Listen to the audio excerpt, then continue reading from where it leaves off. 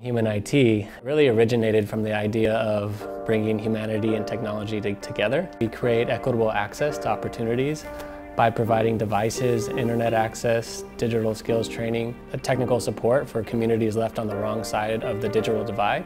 Since we were founded in 2012, we have collected over 10 million pounds of e-waste.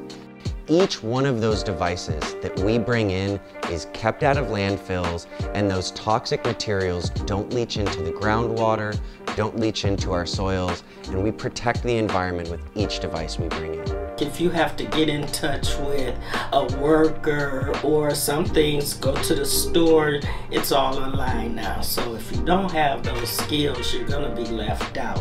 Having access to the internet is, is basically having access to the greatest storehouse of information ever created in human history. That is where information is, and that's where opportunity lives.